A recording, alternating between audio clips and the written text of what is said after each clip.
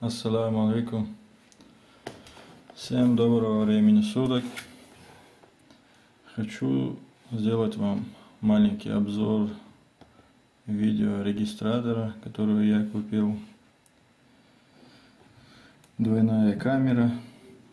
У нее здесь вот дубли камера. GPS вот все, что на ней написано. Ночная съемка.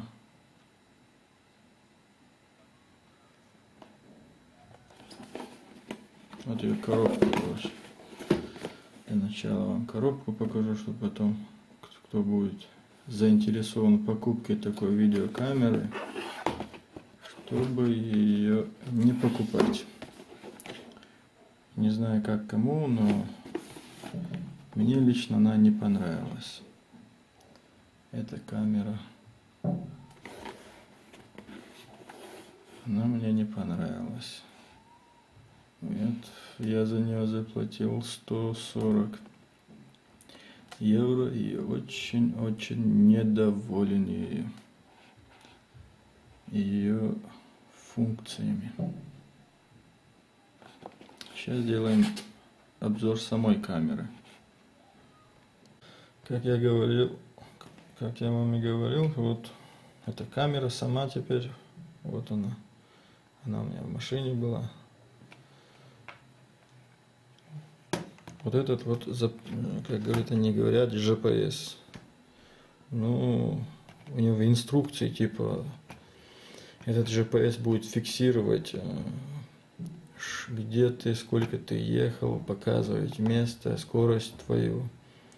Э, ты можешь там сам настройка все это отрегулировать, не знаю. Я лично ничего не разобрался в этом. Сама камера. Сама камера снимает очень хорошо. Я доволен, то, что как она снимает. Но я недоволен тем, что я не знаю, честно скажу, я не знаю. По крайней мере, я не нашел просмотр видео. Того видео, то, что я снимал, я не могу найти здесь это видео. Нету такой функции. Я все перекопал, здесь нигде ничего нет. Вот здесь вот вставляешь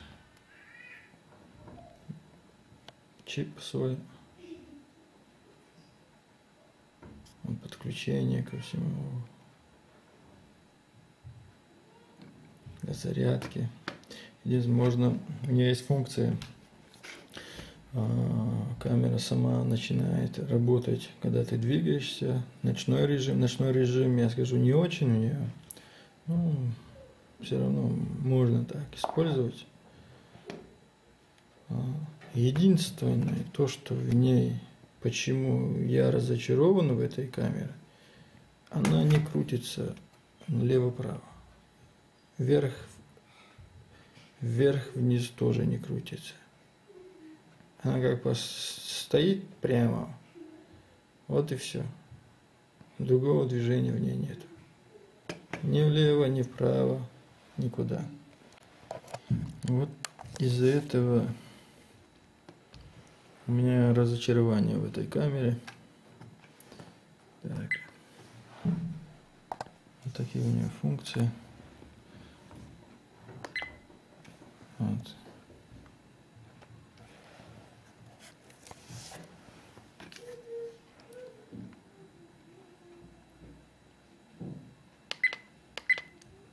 Запись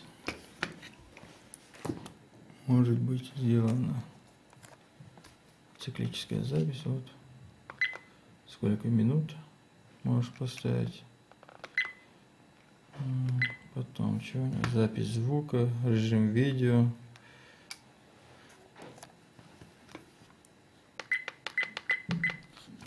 Режим видео.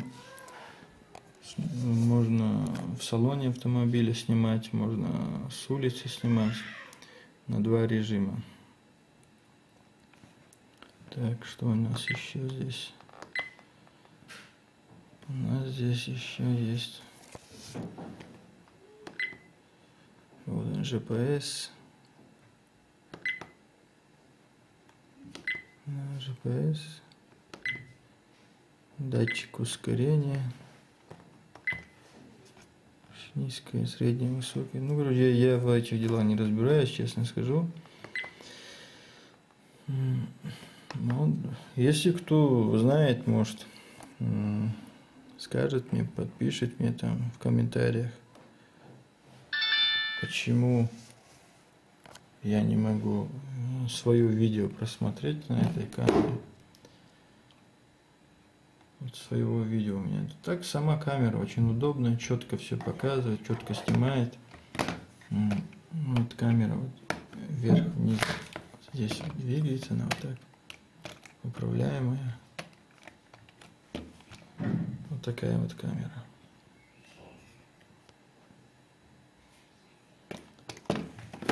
Вот она коробка.